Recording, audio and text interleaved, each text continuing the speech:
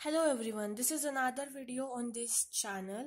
Uh, today we are going to review another book of Balaji publication for inorganic chemistry. The name of this book is Problems in Inorganic Chemistry for NEET and AIMS. अभी NEET ही है तो ये बहुत ही अच्छी book है NEET की स्कोर को बूस्ट करने के लिए uh, लगातार कट ऑफ़ जो है वो बढ़ता जा रहा है इसलिए हम uh, हमको ईच एंड एवरी सब्जेक्ट पे अच्छे स्कोर के साथ क्रैक करना होगा। इसीलिए इनऑर्गेनिक केमिस्ट्री में कोई भी समस्या हो तो ये बुक बहुत ही अच्छी है।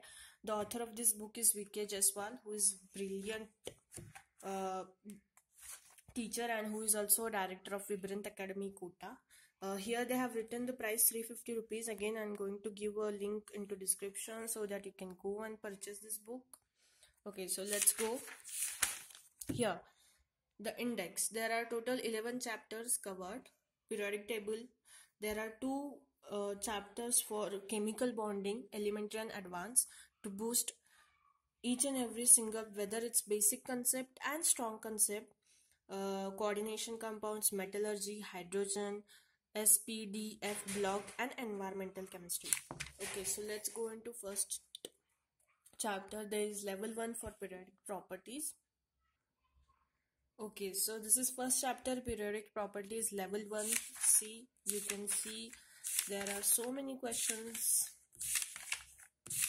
these all are of good quality level 2 assertion reason type questions and level 3 is all about previous year questions सभी previous year questions from 2001 up to 2017 18 19 इस लेवल थ्री में आपको मिलेंगे ऑन पर्टिकुलर चैप्टर और यहाँ पे आंसर्स है।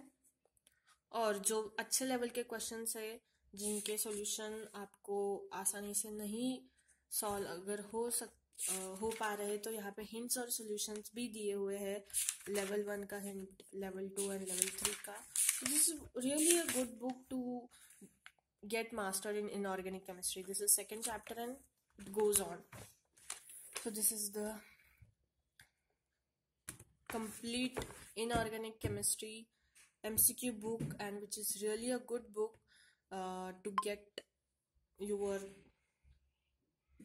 uh, st concept strong. So yeah go and uh, look it into description and go and purchase